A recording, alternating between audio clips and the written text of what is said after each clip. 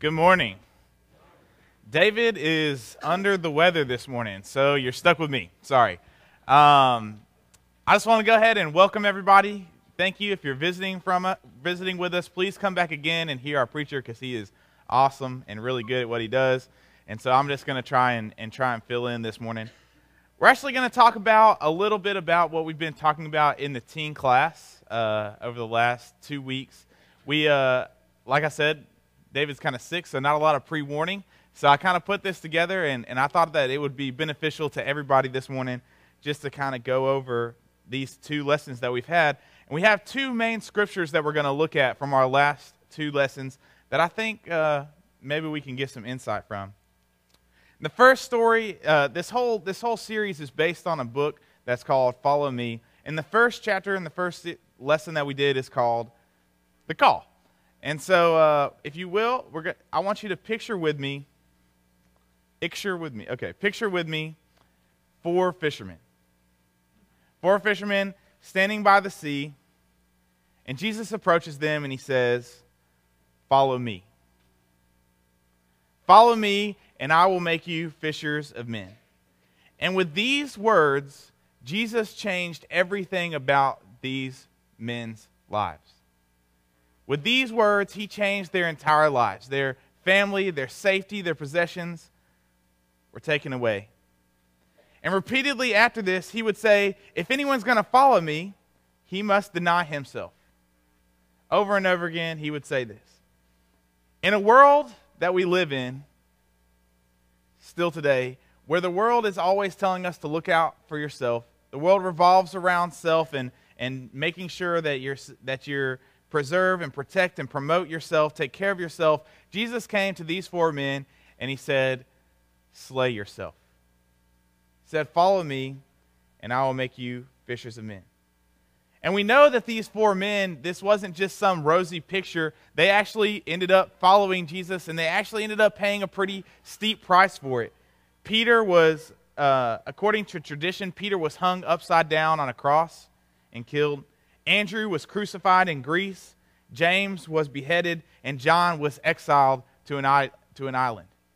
These guys followed Jesus, and their life was drastically changed.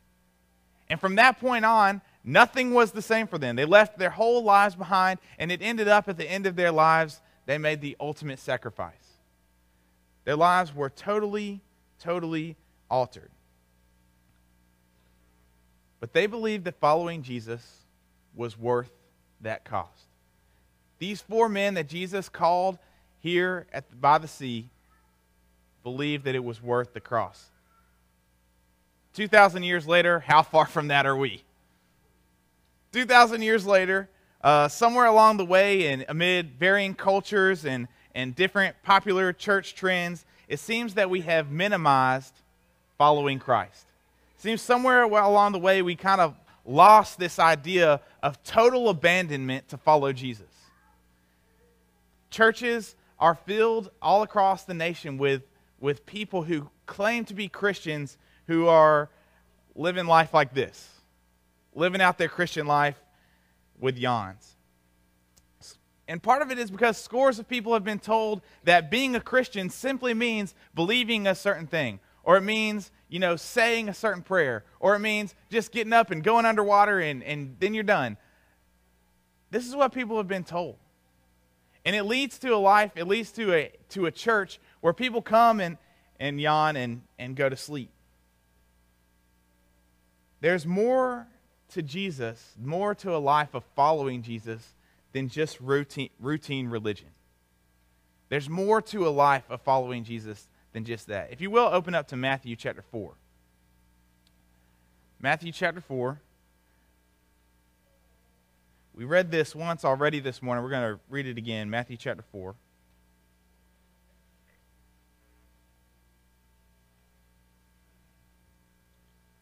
While walking by the Sea of Galilee, he saw two brothers Simon, who is called Peter, and Andrew, his brother, casting a net into the sea, for they were fishermen. And he said to them, Follow me, and I will make you fishers of men. Immediately they left their nets and followed him. And going on from there, he saw two brothers, James, the son of Zebedee, and John, his brother, in the boat with Zebedee, their father, mending their nets, and he called to them, and immediately they left their boat and their father and followed him. In this one scene, we find that, that when Jesus calls these four guys, it's not just, just a simple thing like, hey guys, I want to show you something. Come follow me real quick. This is actually a plea to say, hey guys, give up your whole lives and come follow me. It was like this huge question that Jesus is asking, and they actually end up doing it. And, uh, and when we did this in class, I asked the kids to think of some things that like they physically had to give up.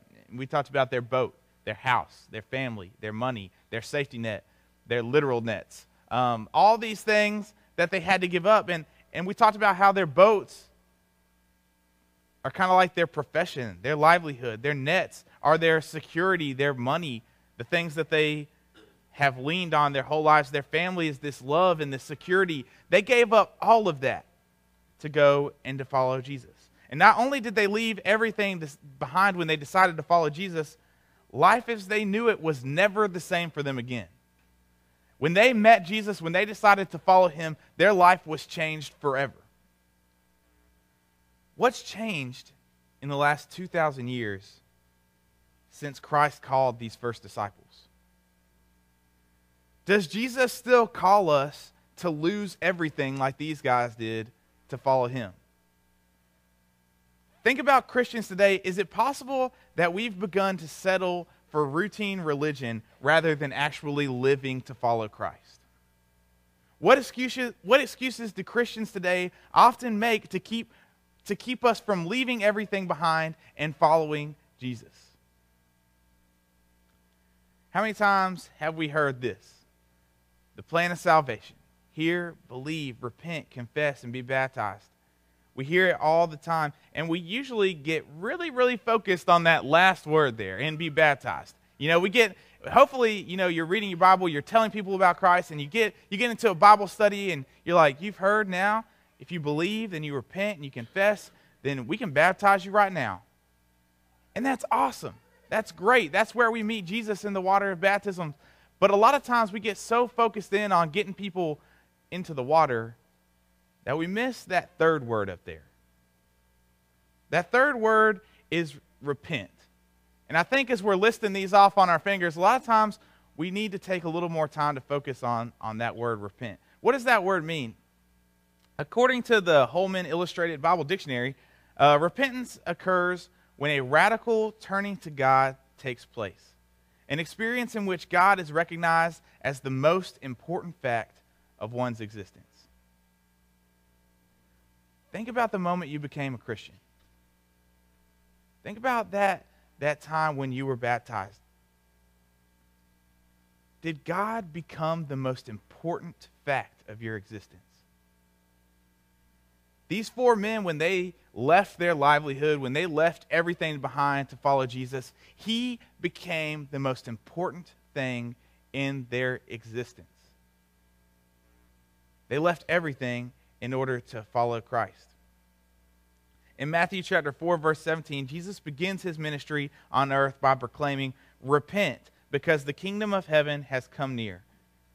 The word repent means that we see our sins, we see how our life has been going this way in one direction. We've been moving this way towards the world.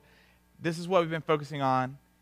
And that day we decide to turn around and totally focus on moving towards Christ and moving towards Him. Repentance is this rich biblical term that signifies an elemental transformation in someone's mind, heart, and their life. When people repent, they turn away from walking one direction and start walking another. Did we have true repentance when we met Jesus? When these guys met Jesus, they had a total life changing experience. Do we have that? The moment we went into the water and we met Jesus there and his death and came up again a new creature, did we actually become a new creature? Did we actually repent and change our life for him? Which re- leads me to my second point from our second class be transformed. All right, so if I showed up, say we've got lunch, me and you have lunch plans, all of you individually. Um, say we've got lunch plans, and I come in late and I'm like out of breath, and I'm like, ah Mr. Eddie, I'm sorry I was late. I was on my way here, and I got a, I got a flat tire. I got out of my car. I started to change it, and, and I decided I, you know, I needed something. I walked out into the road, and I got hit by a Mack truck. You might look at me like this guy. Like, what? the moment, if you get hit by a Mack truck, Malvin, you didn't get up and like brush yourself off and come to lunch, you know? If you get hit by a Mack truck, you are going to be drastically changed. When we meet Jesus, we're supposed to be drastically changed. When we have that moment of meeting Jesus, it's supposed to be like a Mack truck hitting us, where we, when we go into work the next day, it's not just like, hey guys, guess what happened yesterday? It's a drastic change where everyone we meet goes, wow, something has changed. That guy's living differently than he was before. The things in his life aren't important to him anymore. He's been hit by Jesus. His life has been changed. John chapter 15, verses 1 through 8. If you want to open up there, we're going to read that. John chapter 15, verses 1 through 8.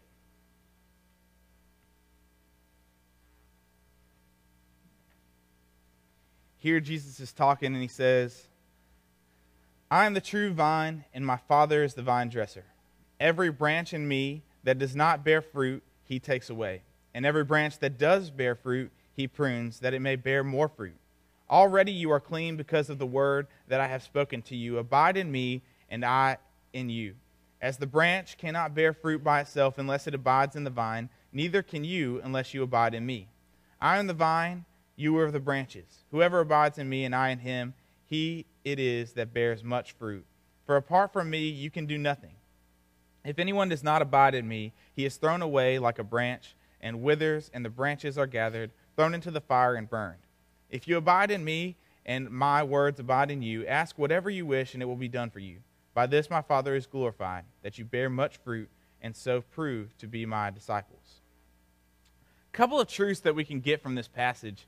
Uh, we, we talked about this, this verse in our teenage class, and uh, we kind of had to like walk through you know what grapes are and how the whole thing works. So in the picture here, you can see these are grapes. Um, if you ever have bought grapes at your house, uh, from the grocery store. They come in a plastic bag, uh, and they are usually attached to this little stick tree looking thing. Um, and then the grapes are on the end. You eat all the grapes, and then you've still got the little stick, and you throw it away, right?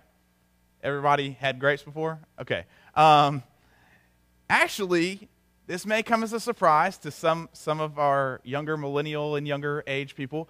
Um, grapes don't grow at the grocery store, they grow on a vine in a vineyard.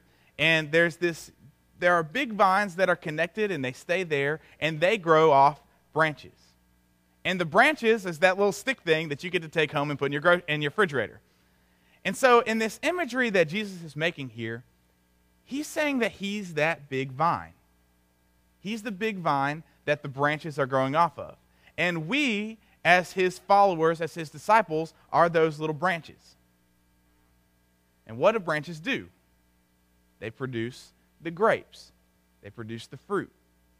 And he says that as long as you're connected to me, as long as your branch is connected to the vine here, you're going to produce fruit.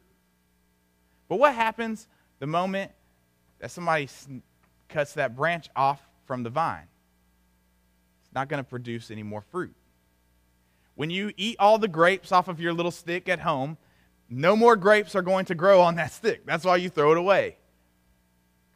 The only way it grows fruit is if it's connected to the vine. And Jesus says that in the same way that you are connected to me, I am com- connected to my Father. The same way that you are in me, I am in my Father. And he says basically that we are one, just like he is with God, with him, if we're connected. And because of that, we produce fruit. That's the imagery that he's giving here. And a couple truths that we can get to that, get from that, is that as disciples in Christ, we are united with Christ. As disciples of Christ, we are united in Him. Number two, when we confess Jesus as our Lord, He changes everything in our life. He changes us to bear fruit. And number three, as we abide in His Word, we will, we will bear fruit in this world. John chapter 15, verse 10 says, If you obey my commands, you will remain in my love, just as I have obeyed my Father's command and remain in his love. We connect to the vine. The way we stay in Jesus is through his word. We read his word, we connect to him, and when we connect to him, our life is changed and we produce fruit. That's just how it goes. If we're not producing fruit, we may want to check our connection with Christ. Because the imagery that Jesus gives here is if you're a healthy branch that is connected to the vine, you will produce fruit. Do we really believe the Word of God? Do we really believe Jesus' call? When we are gladly and gladly willing to lose our lives to know and proclaim Christ, we have answered the call to follow Jesus. I think a lot of times we get stuck in a world where we have to work every day, we have to deal with our families, we have to deal with our coworkers, we have to deal with temptation in our lives, and it's so easy to say, "All right, here we go, it's Sunday morning, get dressed, come to church, la la la, let's go to Ponchos, you know, our normal Sunday thing." And totally forget that we're actually following Christ. And when it says lose our lives to proclaim and know Christ. It's not talking about just that hypothetical that, you know, we used to talk about when I was in when I was a teenager, people always used to talk about this and say, you know, if somebody held a gun to your head and said, "Are you a Christian?" Would you say yes? If they said, "I'm going to kill you if you tell me that you're a Christian," and put a gun to your head, would you say yes? I hope we would all say yes in that situation. And that can be a very powerful thing to think about, to literally lose your life for it. But what Christ is talking about here isn't just that final moment, that do or die situation. He's talking about every single day losing your daily life, losing the things in your life that are most important to you outside of God. Are you willing to lose everything to follow Christ.